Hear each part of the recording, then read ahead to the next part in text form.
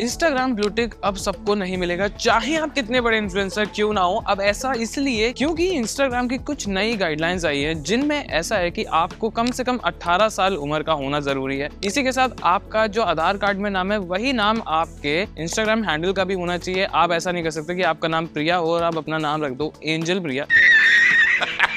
इसी के साथ आपकी प्रोफ़ाइल पिक्चर में आपकी फ़ोटो होनी चाहिए जो आपके आधार कार्ड से मैच करे। ऐसा नहीं चलेगा कि आप सलमान खान या कटरीना कैफ की फ़ोटो लगाकर अपना इंस्टाग्राम अकाउंट इस्तेमाल करते हो। और साथ में आपकी जो प्रोफ़ाइल है, वो पब्लिक या प्राइवेट होनी चाहिए। वो ऐसा नहीं चलेगा कि आप बिज़नेस प्रोफ़ाइल बना ले। बिज़नेस अकाउंट आप इस्तेमाल कर रहे हो। This is not possible